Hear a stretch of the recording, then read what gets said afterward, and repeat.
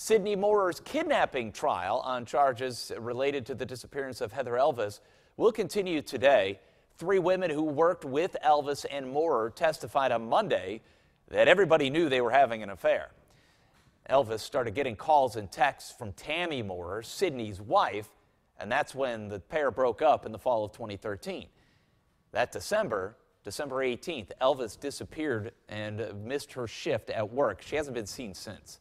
Prosecutors said on Monday Moorer lured her to the Peachtree boat landing in the middle of the night through a phone call. And that's where police found her abandoned car. It's also the last place her cell phone pinged. And you're not going to see a picture of him committing the crime. You're not going to see an eyewitness come into court and say, I saw him kidnap Heather Elvis at the Peachtree boat landing on December 18, 2013. You're just not going to see that because he made sure that his trap got set in an area where there wouldn't be witnesses where there wouldn't be photographs.